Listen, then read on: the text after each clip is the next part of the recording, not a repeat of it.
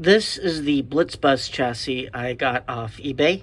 This is the Cromemco ZPU card, which is a CPU card with a Z80. These pins were pretty corroded, so I pulled this out, cleaned up the pins, and then shoved that back in.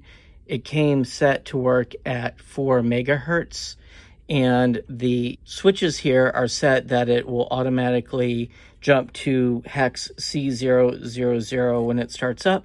And I need to figure out what this bodge wire here does. But the thing I want to do right now is actually install an IC socket here so I can actually use this with my MSI front panel to test it.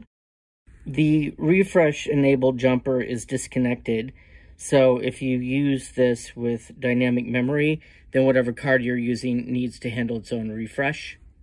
There's a feature here called address mirror that has to do with the way that ports appear on the S100 bus that comes set to on.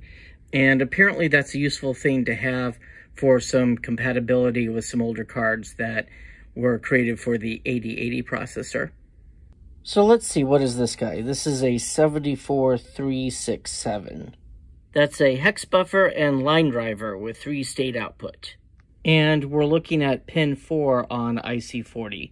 Let's see, so pin 4 on IC40 is this buffer that's driving the SINTA output to the S100 bus, whatever that is.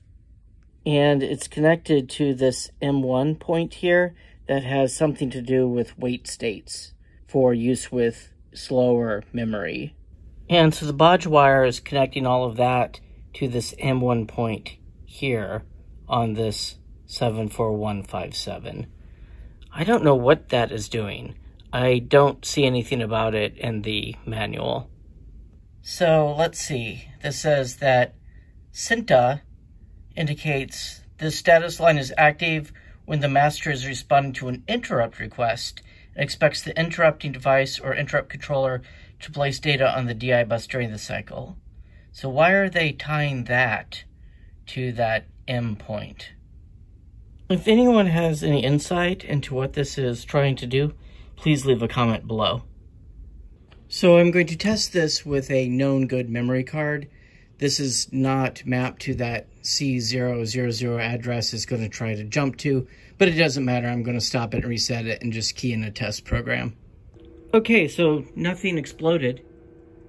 Okay, so I keyed in the standard test program where we can flip switches on the input here and it will give me the inverse pattern on the outputs. Whoops. Okay, let's not talk about that.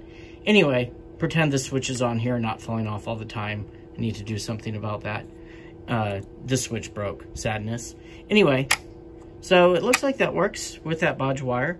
And it's working at this higher speed with that memory card. So there you go. I would still like to know what that bodge wire does.